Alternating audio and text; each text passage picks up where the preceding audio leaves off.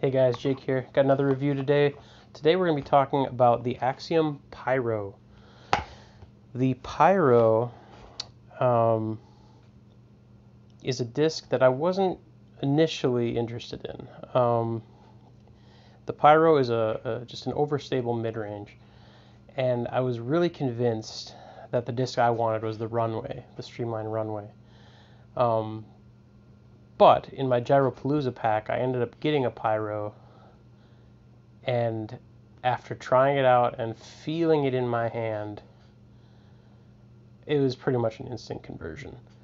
It felt so good. It's just the perfect disc feel. And then after taking it out to the field and seeing it fly, it, it became, it pretty much went right in the bag. And after that, I acquired two more. Um, and I am sure I will have a few more in the future. But uh, the Pyro has essentially turned into my overstable mid slash utility disc.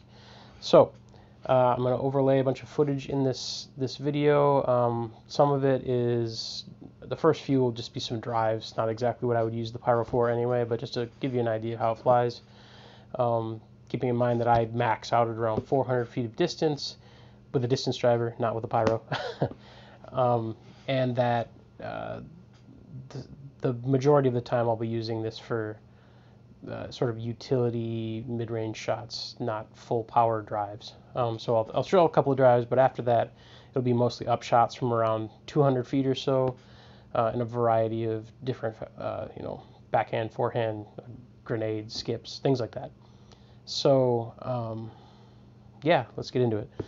Uh, the Pyro. The Pyro is a Speed 5 glide 4, turn 0, and fade 2.5. I think that all of those numbers are dead accurate.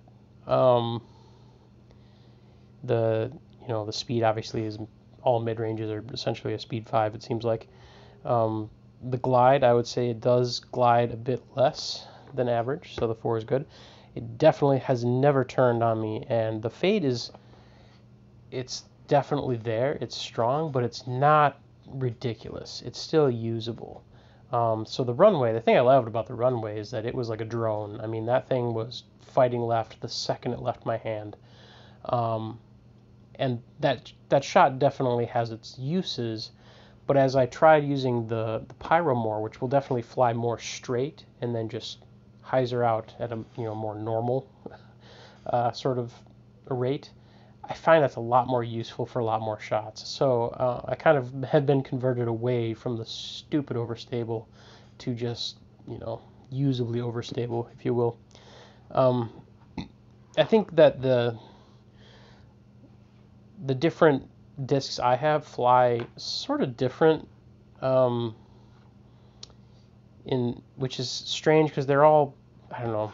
I guess one of them is Prism Proton, and the other two are Prism Plasma.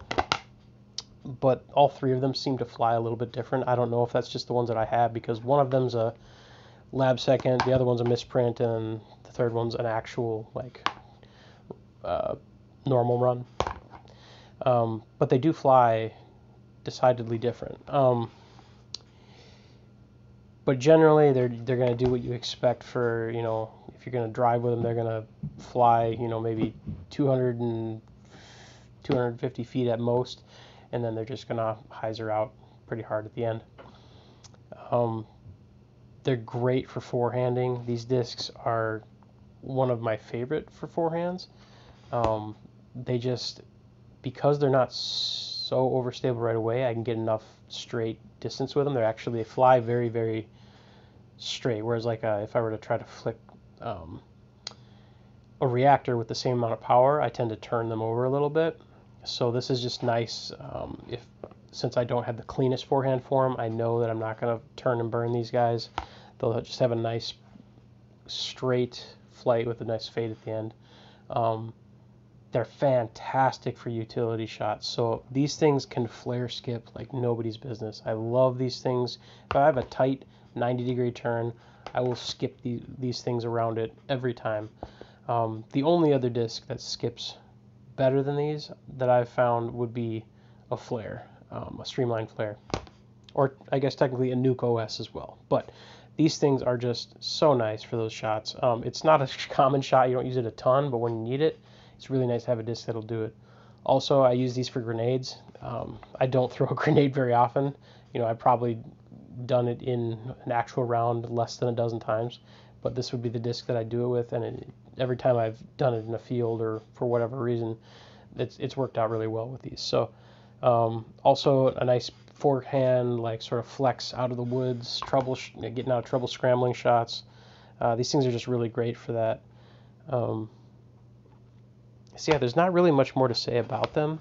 Um, the the different discs I mentioned they fly a little bit differently. So the the the one disc I have for my Gyropalooza box, the Lab Second, it's the most different of all of them. It doesn't have any. It has one little like flaw on the rim, um, but nothing that I would have expected it to fly terribly different. But this thing flies so much straighter and fades so much less than the others. It's it's what I imagine these discs are meant to fly like when they have been beat about as long as you can beat, like you know, a 20 year old disc that's been you know smashed into every tree ever found, laid in the bottom of a lake for a year. You know, one of those discs. That's what I ex- would expect this to fly. It's so much more straight. It's almost like throwing a reactor, um, but it does hook up a little bit more at the end. So it it's unique, and I don't think that they're meant to fly like this, but it it is still a useful disc. And I actually use this for big spike hyzers because I know it's not going to flip up and glide on me. It's going to come back down. Um, but I don't trust it if I really needed to, you know, fade out real hard at the end. I don't I don't think this is the one that I'm ever going to trust for that shot.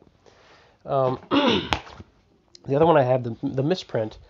This one is probably, you know, more what I expected from the numbers. It's you know it, it flies exactly what I have described every time the same way. Um, it does that sort of straight flight, hard dump at the end, um, but it won't fly nearly as long as the, the one I was just talking about, um, the Lab Second. So this one's like a seems like it's somewhat beat in, I guess would be the way I would describe it. It's flight. Um, whereas the very last one I have in the Proton plastic, this guy, um, this thing is very, very overstable. Um, this thing is the one that I throw for the super flare skips. Um, it's the one that I, I, expect to dump hardest and earliest of the three, um, which is interesting because it's only 170 uh, grams, and this other blue one is 176 grams. So I don't know. They do fly differently, and I don't have enough experience with the Pyro to know if that's common or if I just have some unicorn discs that fly special. Um, but all three of them are useful, and I can use them for the same shots. I just have to know which one I have in my hand and kind of think a little bit harder about how I'm going to use it. Um, I'll be interested to see as I go along, as I collect more of these, because I know what's going to happen. Um, kind of if it becomes a more consistent flight with each one that I throw, or if they all just are a little bit different and it's just not a very uh, consistent mold. So, um, but either way, fantastic disc. I didn't expect to get as much use out of these as I do. Um, I think the runway I bought it and it sat in my bag, and I think I maybe threw it like two or three times in you know 20 rounds. Whereas these guys, I pull them out probably at least once or twice around. Um, a lot of times for getting out of trouble. Um, but yeah, just a, a great overstable mid. Um, it's like a super beefy reactor in the feel, I think, is what I would say.